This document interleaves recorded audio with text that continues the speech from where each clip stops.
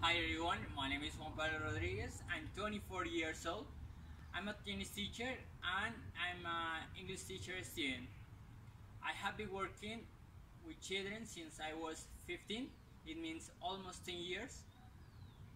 And I've been working with uh, people of all ages. Um, it means adults, 10 years, children, even babies. Also, I have been working in the most important clubs in the city, such as the Police Club, Fortaleza Club, and the um, Columbia Club. I think that the, the most important thing is that to know the, the strategies of how to learn and, and know how the children learn. Also, according to my experience as an English teacher, I have learned how to improve the knowledge of a child, the methods that we can use, um, and the different strategies and the different intelligence that they can have. Great, traveling to China is like a dream because I like uh, the culture, the education, the economy, and the technology. And also because I like the, the places that are there, such as the um, Chinese Wall and, and all those cultural places.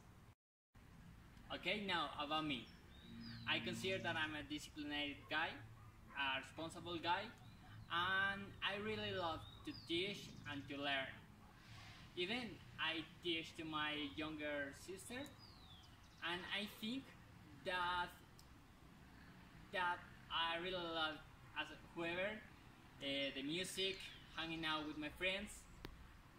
I, I don't like drinking alcohol. I prefer uh, share with my family or read or something like that.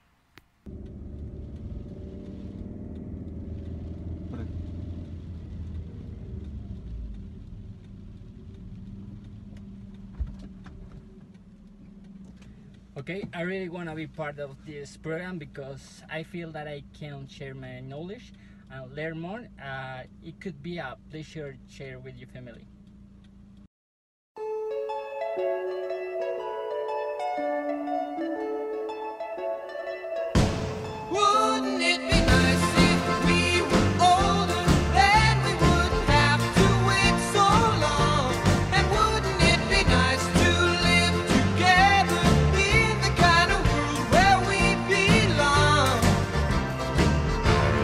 gonna make you last.